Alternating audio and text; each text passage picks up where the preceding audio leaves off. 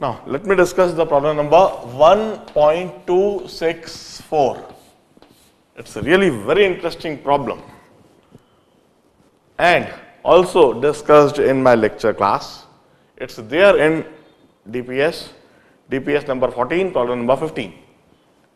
Just see DPS number 14 and in DPS 14, look at problem number 15 and you will find this particular problem 1.264. It's a very good problem and a very good analysis of rotation with the translation and energy conservation and uh, lot other things. Just have a look. चलिए पहले fifteen करते हैं uniform solid cylinder of radius r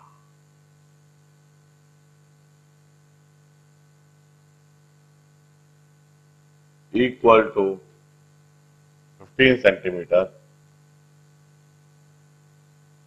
rolls over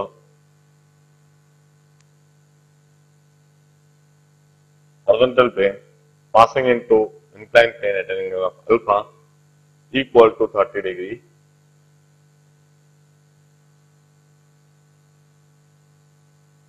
With horizontal find maximum value of V naught.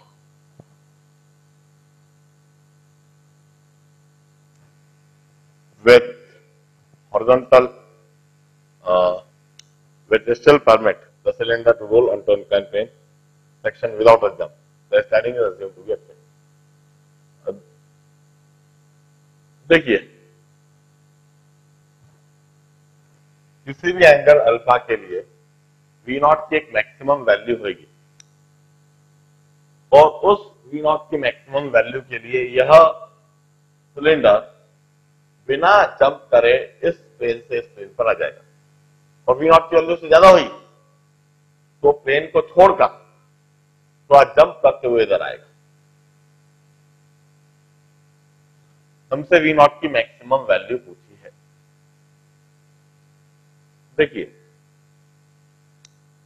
हम problem में concept develop करते हैं। Conceptualising problem is an important part jump क्यों करेगा, कैसे करेगा यह बात समझ में आ गई? वो सबसे इंपॉर्टेंट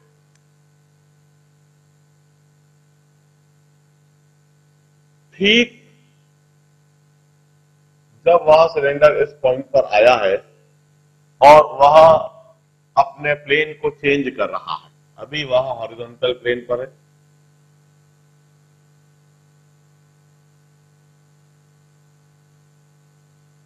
यह सिलेंडर अभी हॉरिजॉन्टल प्लेन पर है। और अभी उसका सेंटर ऑफ़ मास यहाँ पर है। वेलोसिटी वी नॉट ही है और यह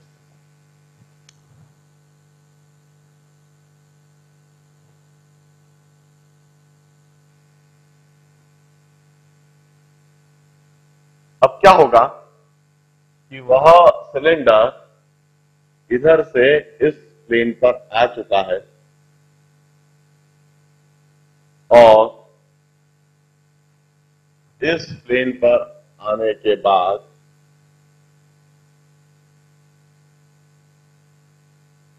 यह प्लेन पर ठीक अभी अभी आया है। उसकी वेलोसिटी हमने थोड़ा फिगर जो है ना, ज़्यादा ही शक्तिक बना दिया। बड़े ध्यान से फिगर को बनाना होगा, सिचुएशन को समझने के लिए।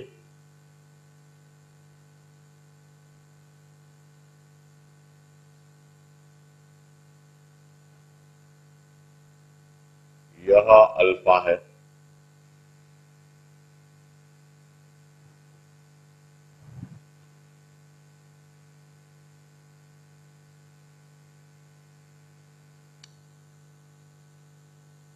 this is the center of इस तरह से वेलोसिटी अब कुछ वी है। और ओरिजिनली यह सिलेंडर इधर ऐसे था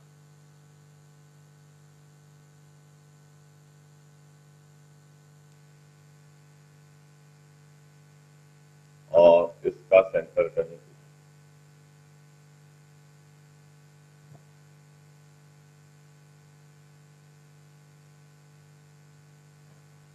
हम कहते हैं इस इंस्टेंट पर सिलेंडर इस पॉइंट ऑफ़ कांटेक्ट के अबाउट रोटेट करेगा। इस तरह से थोड़ा और बड़ा करके दिखाता हूँ और एंगल भी थोड़ा ज़्यादा करके दिखाता हूँ। इस पॉइंट ऑफ़ कांटेक्ट के अबाउट यह सिलेंडर रोटेट रोटेट करेगा।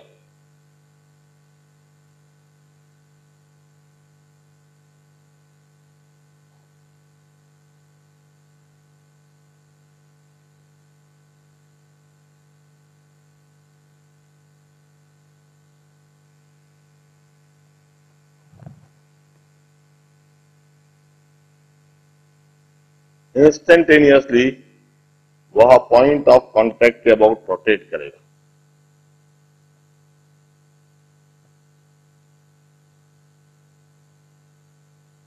This would be the situation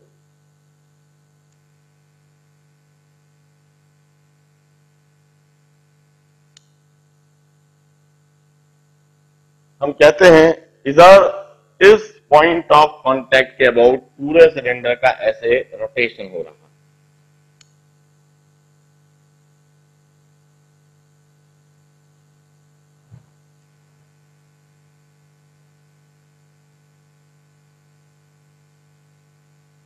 और सिलेंडर कभी भी जंप नहीं करे। इसके लिए ज़रूरी है नॉर्मल रिएक्शन कभी भी ज़ीरो नहीं। नॉर्मल रिएक्शन की फाइनाइट पॉजिटिव वैल्यू बनी रहनी चाहिए। और no jump of cylinder normal reaction must be greater than और इक्वल टू ज़ीरो अब नॉर्मल रिएक्शन कब? मिनिमम वैल्यू होगी, इसे समझ लें। यहाँ पर तो नॉर्मल रिएक्शन कभी ज़ीरो होने का सवाल ही नहीं horizontal surface normal reaction minimum होएगी जब वो इंक्लाइन प्लेन पर आएगा। कैसे वो भी हम इसी समय दिखा देते पहले तो ठीक हॉरिजॉन्टल सरफेस से जब वो इंक्लाइन प्लेन पर आया तो एनर्जी को कंजर्व करके वेलोसिटी वी निकाल ली जाए क्योंकि इधर इसकी वेलोसिटी वी नॉट है। इस तरह। मगर इंक्लाइन प्लेन पर आने के बाद इसकी वेलोसिटी वी नॉट नहीं रहेगी, कुछ वी हो जाएगी जो कि थोड़ी बढ़ जाएगी। वो क्यों बढ़ेगी? क्योंकि ग्रेविटेशनल पोटेंशियल एनर्जी कम हो रही है। कैसे? जरा मैं समझाता हूँ। ओरिजिनल उसके पास ट्रांसलेशनल काइनेटिक एनर्जी और रोटेशनल काइनेटिक एनर्जी ओरिजिनली इतनी एनर्जी है। यह एनर्जी थोड़ी कम हो रही है। इसकी जो है सेंटर ऑफ़ मास की हाइट कम हो गई। कितनी? M g r originally centre of mass था minus m g r cos alpha इतनी ग्रेविटेशनल पोटेंशियल एनर्जी कम हुई है? एमजीआर हाइट था सेंटर ऑफ़ मास की और इंक्लाइन प्लेन पर आकर m g r cos alpha this must be equal to final energy that is half mv square plus half i omega square इस तरह से एनर्जी कंजर्वेशन लगा के पहले मैं वेलोसिटी निकाल लेता हूँ। Half m, v naught square plus half into two by five, m r square into V naught square by R square equal to और plus M G R into one minus cos alpha is equal to half mv square plus 2 by 5 mr square plus v square by r square. हम यह equation लिख देते क्यों ना इसे simplify फटाफट कर ही लिया जाए। यह टू से टू कैंसल्ड आर स्क्वायर से आर स्क्वायर कैंसल्ड टू से टू इधर भी कैंसल्ड आर स्क्वायर से आर स्क्वायर इधर भी cancelled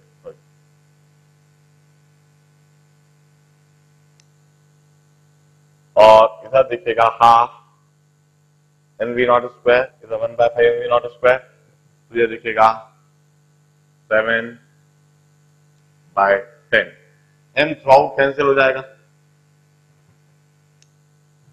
seven by ten v naught square plus g r into one minus cos alpha is equal two seven by ten v square From here I can calculate v square. V square equal to v naught square plus 10 by 7 gr into 1 minus cos.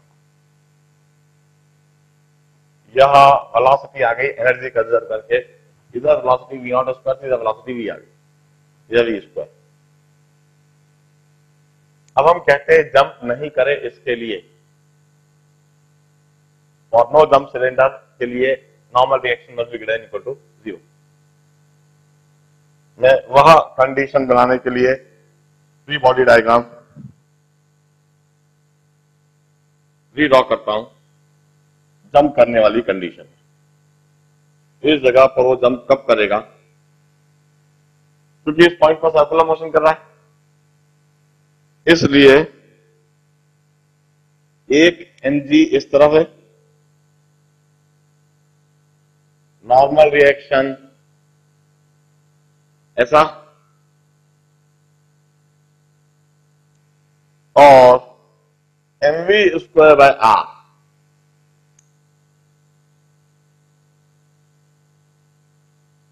m v square by r m g को resolve भी कर सकते हैं। इस तरफ़ और इस तरफ़।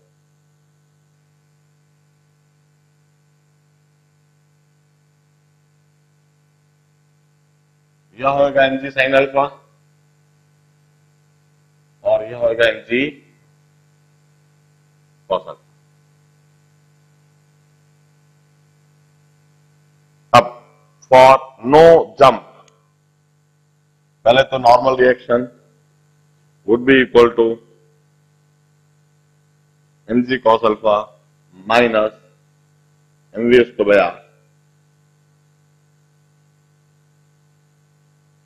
for no jumping it should be greater than equal to 0 for no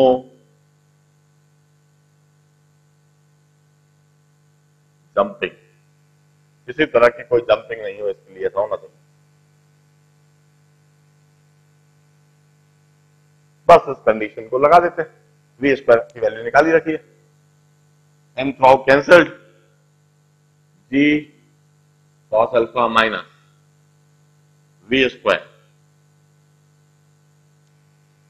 by r must be greater equal to zero v square के ऊपर क्या ले हाँ? सिलेंडर है स्फीयर है।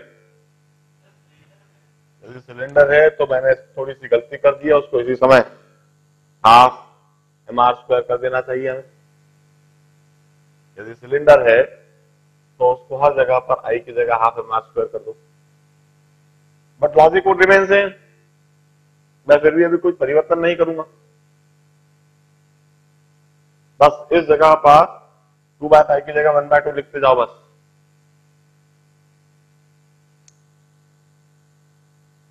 चलो कर देता हूँ। कोई बहुत बड़ी बात नहीं है, इसलिए कर देता हूँ। इधर वन बाय टू इधर भी one by two minus one by two और इधर फैक्टर बदलेगा बस, और इधर फैक्टर बदलेगा बस, और कहीं कुछ फ़र्क नहीं आएगा। Half plus one by four तो थ्री बाय फोर हो जाएगा। और यह टर्म ऐसी कैसी रहनी है, और इधर भी बाय और इधर हो जाएगा फोर बाय थ्री अब हम इस कंडीशन को इधर लगा देते g cos alpha v square g cos alpha minus. V square की जगह value v naught square by r minus four by three into g into one minus cos alpha must be greater than equal to zero. v naught square को इधर ले लीजिए जी cos alpha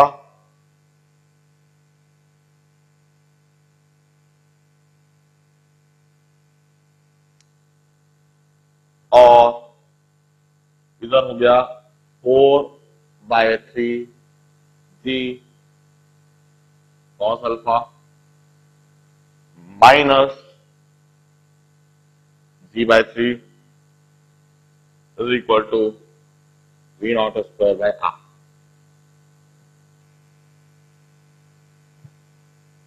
solve कर लीजिए।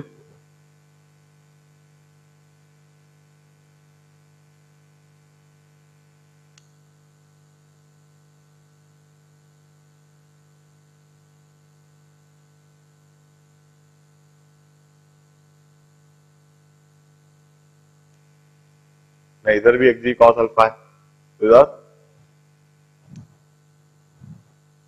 अब solve करके देखो बस एक बार। आंसर अपने आप आएगा।